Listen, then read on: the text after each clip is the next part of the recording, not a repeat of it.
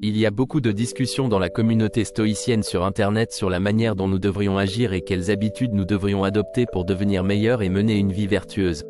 Cependant, très peu est dit sur les habitudes que nous avons déjà et qui sont complètement nuisibles à nos vies. Épictète a dit qu'il y a deux vices bien plus sombres et sérieux que les autres, le manque de persévérance et le manque de maîtrise de soi. Persister et résister. Épictète savait que la clé pour bien vivre est de persister et de résister. La persévérance signifie ne pas cesser de nous efforcer et d'agir de la bonne manière, même quand nous n'en avons pas envie. Cela signifie développer de nouvelles façons de se comporter qui nous améliorent. Créer de bonnes habitudes n'est pas facile, c'est pourquoi nous devons être persévérants. L'autre clé est la résistance. La résistance implique d'éviter les tentations et les mauvaises habitudes qui nous détruisent. Nous devons maîtriser notre esprit pour éviter tout ce qui n'apporte pas de valeur. Sur cette chaîne, il y a plusieurs vidéos où je parle des bonnes habitudes stoïciennes, mais je n'ai pas encore abordé les choses que nous devrions éviter. Quelles habitudes et coutumes de notre vie quotidienne devons-nous résister? Il est temps de commencer à éliminer de votre vie tout ce qui vous rempire, d'éviter les émotions négatives qui vous distraient ou de mettre fin à tout ce qui vous empêche d'atteindre vos objectifs. Dans cette vidéo, je vais vous parler de 9 habitudes que nous avons tous dans notre vie quotidienne et que nous devons éviter si nous voulons vivre pleinement et heureusement. Avant de commencer, je vous serai reconnaissant si vous aimiez la vidéo car cela m'aide à diffuser cette philosophie à plus de personnes. Si vous ne voulez manquer aucune vidéo, abonnez-vous et cliquez sur l'icône de la cloche. 1. Arrêtez de perdre votre temps. Sénèque a dit, Nous nous plaignons toujours que nos jours sont peu nombreux et nous agissons comme s'il n'y avait pas de fin à ceci. Sénèque a beaucoup réfléchi à la durée de la vie et est arrivé à la conclusion que beaucoup d'entre nous ne vivent pas vraiment. Nous existons simplement. Nous perdons notre temps à faire des choses qui ne nous apportent rien et repoussons ce que nous devons faire.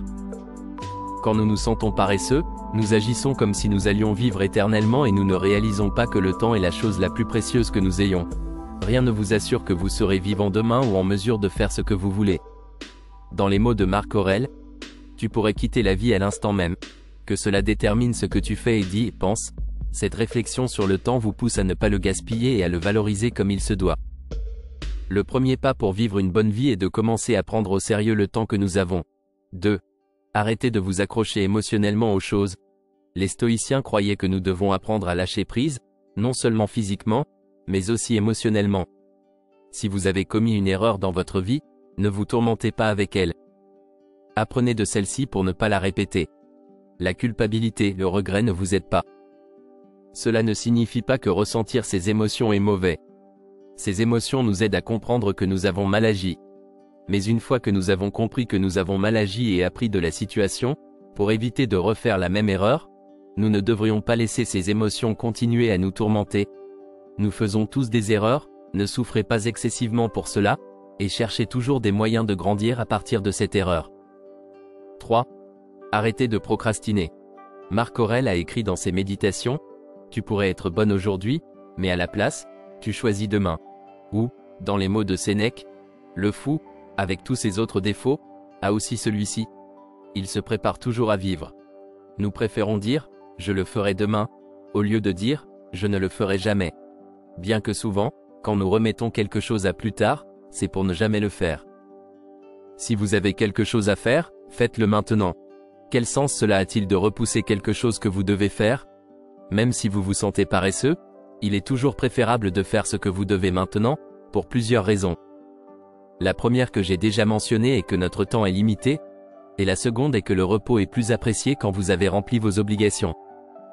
Quand vous repoussez quelque chose par paresse, vous vous sentez coupable et savez que vous devriez faire quelque chose au lieu de vous reposer. Vous n'appréciez pas le repos de la même manière, car au fond, vous savez que vous ne le méritez pas. Le pire, c'est que tôt ou tard, vous devrez remplir cette obligation. Donc, vous n'avez rien gagné en la repoussant. Il y a peu de sensations qui surpassent la satisfaction d'un travail bien fait, et pour qu'il soit bien fait, cela implique de le faire au bon moment, pas plus tard. 4. Arrêtez de chercher un bénéfice ou une reconnaissance dans tout ce que vous faites. Si vous avez bien fait quelque chose, si vous avez aidé quelqu'un, si vous avez réussi dans quelque chose, arrêtez de chercher l'approbation ou la reconnaissance des autres. Pensez que les autres doivent vous remercier pour ce que vous faites pour eux, ou qu'ils doivent vous féliciter pour ce que vous avez accompli ne générera que de la souffrance pour vous. Vous ne contrôlez pas ce que les autres pensent, vous ne contrôlez pas s'ils apprécient ou rejettent ce que vous faites. vous ne contrôlez que vos actions. Que le but d'une action soit l'action elle-même, pas la reconnaissance. Si vous faites quelque chose, que ce soit parce que cela vous rend heureux ou parce que vous croyez que c'est la bonne chose à faire, la reconnaissance et les félicitations des autres viennent souvent après un travail bien fait. Mais si personne ne reconnaît votre effort et votre travail, c'est bien. Vous ne l'avez pas fait pour cela. Vous l'avez fait parce que c'était ce qu'il fallait faire. Comprenez que penser ainsi vous fera vous sentir satisfait de vous-même, indépendamment de ce que les autres pensent. Concentrez-vous davantage sur donner le meilleur de vous-même. 5. Arrêtez de détourner le regard. En stoïcisme, une des vertus les plus importantes est la justice. Des philosophes comme Marc Aurèle et Cicéron ont beaucoup parlé de cette vertu dans leurs œuvres. Être juste signifie agir envers les autres de la bonne manière, faire ce que nous devons faire. Dans les méditations, Marc Aurèle parle de comment les injustices peuvent également être commises quand nous ne faisons rien. Quand une injustice est commise, ne rien faire et laisser passer nous rend complices. Une part significative d'être juste implique de prévenir les injustices qui se produisent autour de nous, même si elles ne sont pas causées par nous. Les stoïciens sont des individus qui évitent les conflits inutiles, car ils croient que nous devons vivre en harmonie avec les autres, mais il y a des situations où un stoïcien ne peut pas détourner le regard. Le moment où un conflit inutile devient nécessaire.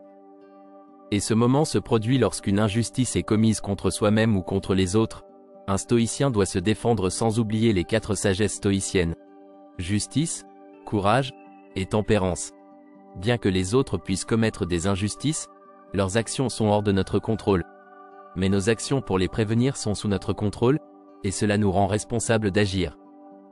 Éviter cette responsabilité nous rend complices de l'injustice, même si elle n'a pas été provoquée par nous.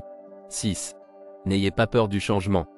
Marc Aurel a écrit dans son ouvrage Tout a pour destin de changer, de se transformer, de périr, pour que de nouvelles choses puissent naître.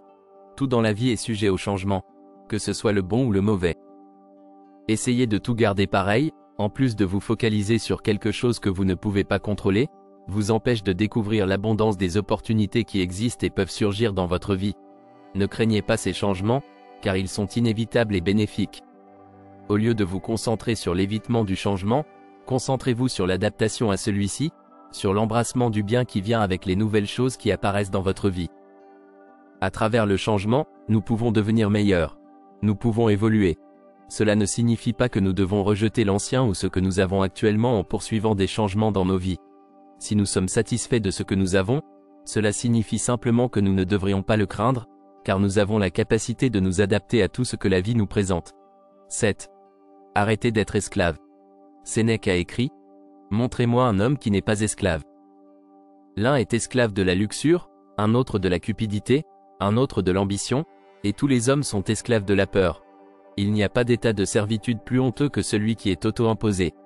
Sénèque avait raison en disant que nous sommes tous esclaves de quelque chose. Souvent, nous ne nous en rendons même pas compte.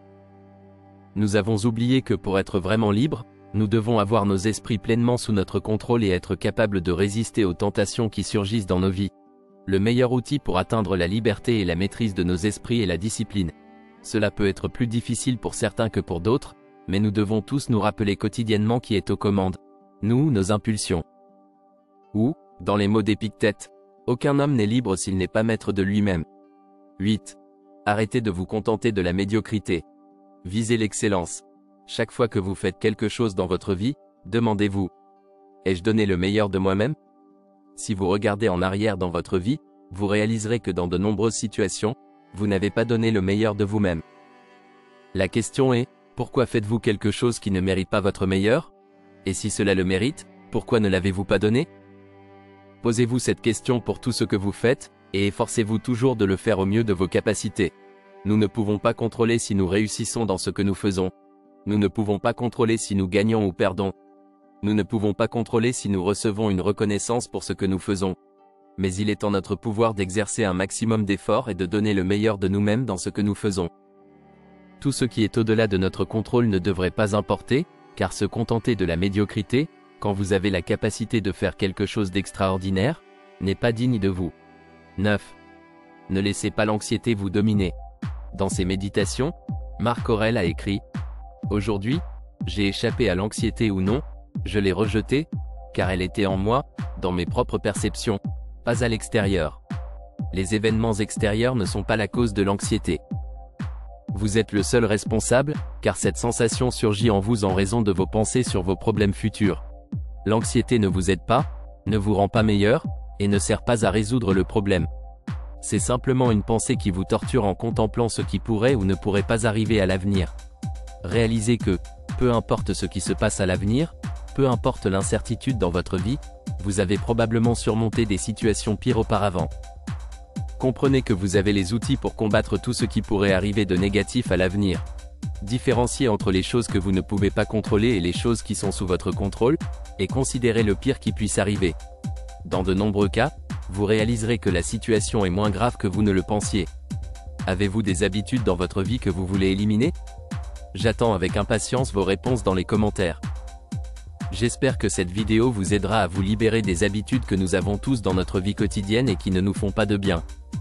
En éliminant ces habitudes et en incorporant de nouvelles dans votre vie, comme expliqué sur cette chaîne, c'est le chemin pour vivre une vie paisible, heureuse et pleine de sens.